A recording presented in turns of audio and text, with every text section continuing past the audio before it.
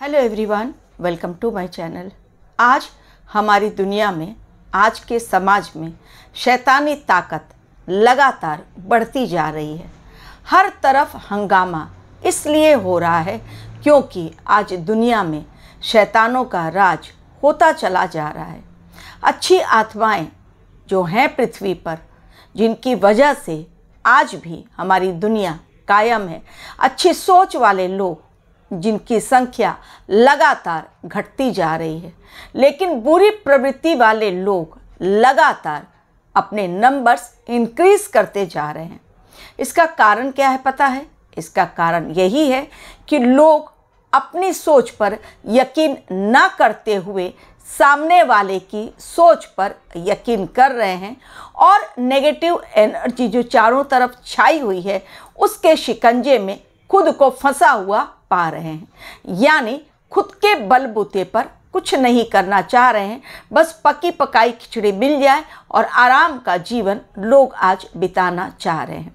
पंजाब में जो माहौल आज आप लोग देख रहे हैं, चाहे वो ड्रग्स का केस हो या एक ऐसे इंसान का पंजाब में आकर हंगामा करना, जो तलवार के बलबूते पर आईएसआई का एजेंट होते हुए भी वहाँ पर अपनी टीम बनाना चाह रहा था। आज उसका हाल क्या है? आज वो भगोड़ा घोषित कर दिया गया है। अपने काली करतूतों की वजह से उसने पूरे पंजाब का माहौल बिगाड़ कर रख दिया। लेकिन क्या सिर्फ़ एक इंसान के बिगाड़ने से आज का माहौल बिगड़ता है। रिसेंटली लंदन में हमारे देश के झंडे का अपमान किया गया। जो समर्थक थे, जो खालिस्तानी समर्थक थे, उन्होंने आकर झंडे का अपमान किया। अगर झंडे का अपमान इस तरह से किया जाएगा बाहर के देशों में तो क्या हम लोग चुप बैठेंगे? आज हमारे देश में भी सिख समुदाय आए रास्ते पर और उन्होंने ये घोषणा कर दी कि ये बिल्कुल सहन नहीं किया जाएगा। यदि कोई भारतवर्ष का, भारतवर्ष के झंडे का, भारत माता का अपमान करता है, और ये हुआ क्यों? क्या ये ब्रिटिशर्स को ब्लेम देना चाहिए?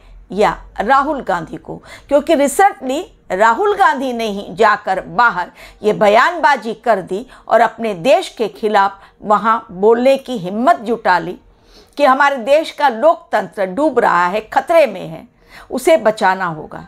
इकोनॉमिक कंडीशन खराब है। जबकि यदि हम नज़र डालें तो बाहर से ज़्यादा आज हमारा देश, मुझे तो लगता है कम से कम ज़्यादा सुरक्षित है।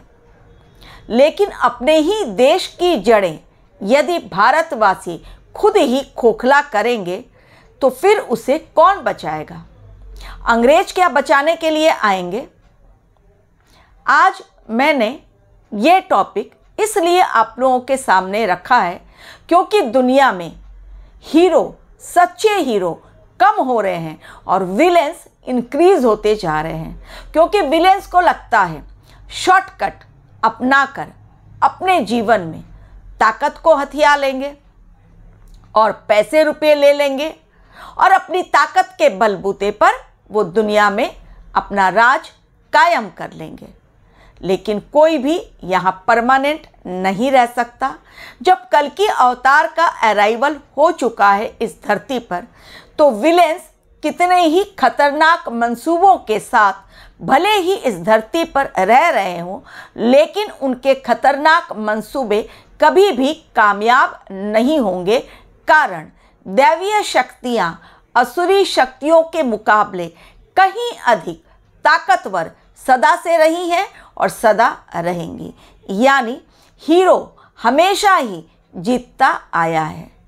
तो कल की अवतार एक ऐसे सुपर हीरो अंतिम अवतार के रूप में विष्णु भगवान कलकी के रूप में पूरी तरह से चौंसठ कलाओं को लेकर अष्ट सिद्धियों के मालिक जब धरती पर उतर आए हैं तो भला उनके सामने किसी मज़बूत, कितना भी मज़बूत विलेन क्यों ना हो, कितना भी स्ट्रॉन्ग विलेन क्यों ना हो, उसके मंसूबे कामयाब नहीं हो पाएँगे।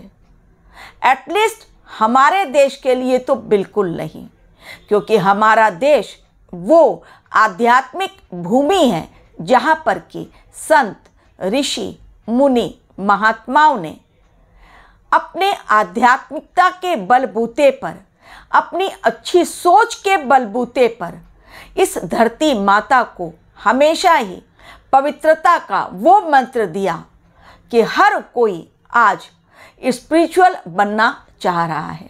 लेकिन स्पिरिचुअल बने तो बने कैसे? क्योंकि दिन रात ऐसी बातें कानों में पड़ रही हैं जो हमारी सेहत के लिए नुकसानदायक है। तो खुद भी बुराई के रास्ते पर चल रहे हैं, औरों को भी प्रेरित कर रहे हैं कि वो बुराई के रास्ते पर चलें। और सबसे ज़्यादा इसमें वीक माइंडेड जो सोल्स हैं यंगस्टर हैं, जिन्हें समझ नहीं आता, जो नशे के आदि होते जा रहे हैं, जो फाइनेंशियल वीक हैं, जिनके अंदर सोचने समझने की शक्ति गायब हो चुकी है, उनको बड़े आराम से एक उनके जीवन में परिवर्तन लाकर, पैसे का लालच दिखाकर और उन्हें यह कहकर कि तुम्हें नशे से मुक्ति मिल जाएगी, तुम्हें अच्छा जीवन मिलेगा, उन्हें शिकार बनाया जा रहा है। तो गंदी प्रवृत्ति वाले लोग, अच्छे लोगों को भी, जो कि वास्तव में मानसिक रूप से अपने आप को स्ट्रांग आज नहीं बना पा रहे हैं, वही इनके शिकंजे में लगातार फंसते चले जा रहे हैं। इसलिए बार बार मैं अपने वीडियो के द्वारा आप लोगों से कहती हूँ, ये गुजारिश करती हूँ कि आप अपने परिवार की सुनिए, दोस्तों से ज़्यादा खुद के परिवार में समय बिताइए, अपनी सोच, आपके डिज़ायर्स या आपकी थिंकिंग क्या है, आपके परिवार से ज़्यादा कोई और सोच नहीं सकता, समझ नहीं सकता जान नहीं सकता। इसलिए एडवाइस लेना है तो अपने फैमिली मेंबर्स के साथ एडवाइस लीजिए और जब तक आपके अंदर आत्मचेतना नहीं जागृत होगी, तब तक कोई भी आपको बरगला सकता है, गलत रास्ते पर ले जा सकता है। तो विलेंस आज के युग में भले ही कितने खतरनाक, क्रूर क्यों ना हो, कल की अवतार के सबसे बड़े दुश्मन कौन है? असुरी प्रवृत्ति वाले लोग। असुरी सोच वाले लोग जो कि इस धरती को बदनाम करना चाहते हैं, अपवित्र करना चाहते हैं, खून की होली खेलना चाहते हैं। लेकिन जिस प्रकृति को विष्णु भगवान ने, ब्रह्मा जी ने, भगवान शिव ने सजाया, संवारा, ताकि यहाँ पर इंसान चैन की सांस ले सके और इसलिए पालनहार के रूप में विष्णु भगवान ने ज़िम्मेदारी ली कि जब जब विलेंस धरती पर आते रहेंगे, क्योंकि उन्हें पता ही था कि कलयुग वो युग है जहाँ पर विलेंस इतने स्ट्रांग होंगे कि उसके मुकाबले हीरो को अपनी ताकत ज़्यादा स्ट्रॉन्ग करनी होगी।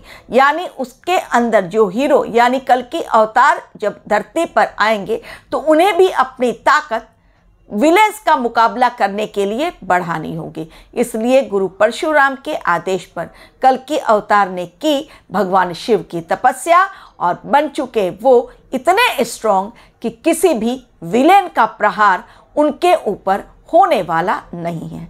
तो यदि आप भी ऐसी असुरी प्रवृत्ति वाले लोगों से अपने आप को दूर रखना चाहते हैं तो अब भी समय है, भक्ति का मार्ग पकड़िए, कल की अवतार से जुड़िए, हनुमान जी से, भगवान शिव से, या जिन्हें भी आप मानते हैं। जो भी आपके कुल देव या कुल देवता हैं, उनसे जुड़िए, सिर्फ़ वही आपको सतमार्ग की ओर ले चल सकते हैं। अदरवाइज़ आज का युग ऐसा युग है, जहाँ इंसान कब भटक जाए पता ही नहीं चलता।